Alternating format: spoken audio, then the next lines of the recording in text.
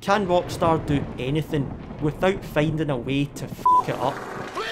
So the Halloween event has just started in GTA Online, and Rockstar has introduced some new jack-o'-lanterns around the map. Oh, hello there! That you can collect and get some rewards. You collect 10, you get the pumpkin mask. Oh my god! The problem is what happens next. See, there are 200 jack-o'-lanterns in total. That's quite a lot. Holy! You get another reward for collecting all of them, and it could take you a few hours to do that. But after spending all that time collecting pumpkins, there's a chance that you get to the last one, and nothing happens.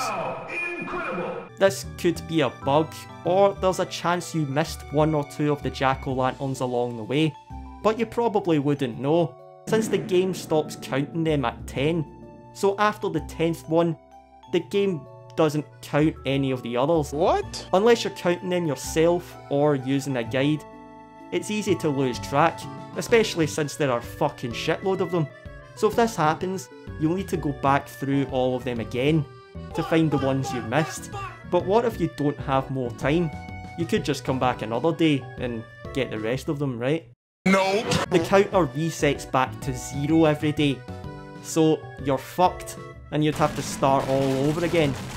So you have to collect all 200 in one day.